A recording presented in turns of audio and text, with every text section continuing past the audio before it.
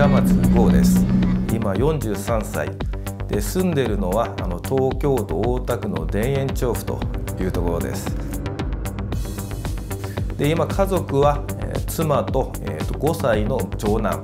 息子、えー、あと3歳の長女とあと犬ですねと住んでます。で普段普段仕事は弁護士をしておりましてですから月曜日から金曜日は銀座の事務所に出向いて仕事をしてます。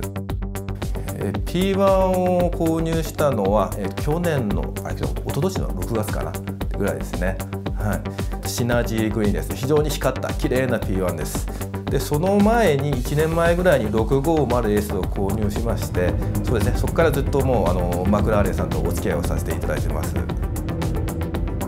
だからあのやっぱり実際え一昨年ですかねあのまあ、ぐらいの工場行きまして、まあ、あの近代美術館のような工場ですよね、これが非常に印象的ですね。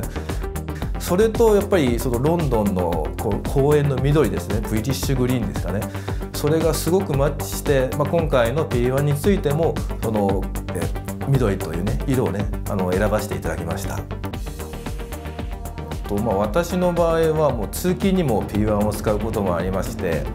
通勤の道が首都高の2号線という本当に空いててカーブが多いところなのでそこを飛ばすのがやっぱり何よりも楽しみです。やっぱり首都高ですね首都高もあの混んでるところもあるんですけど選べばすごく空いてるところもありまして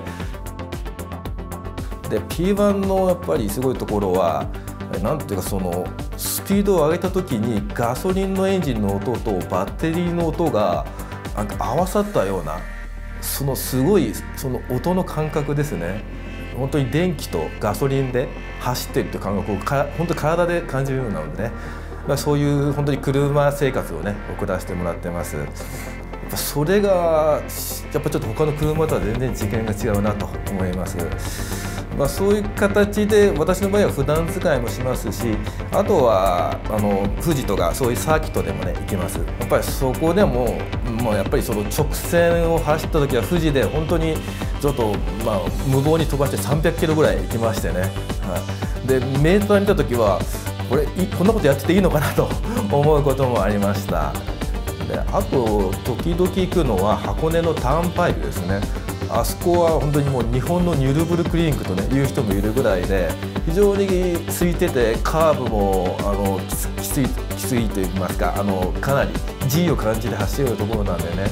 でそこに行く時も友人と行く時もあります。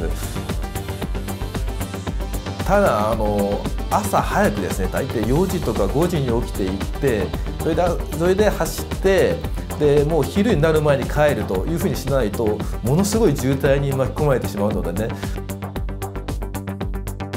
で家に帰るそうですね。もう300万メートルぐらい前手前になりますともう周りがもう家ばかりなのでちょっとやっぱりあんまり迷惑かけたくないなと思いましてボタンを押します。そうすると急に音が止んで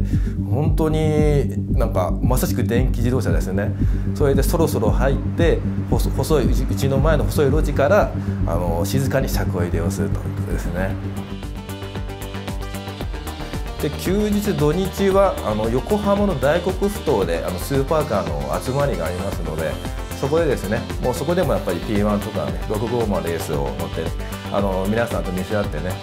これはどこで買ったとかねもうどのぐらい乗ってるとかね普段はどんな感じで使ってるとかねそういうのを仲間内で話してるのがすごく楽しみになってます。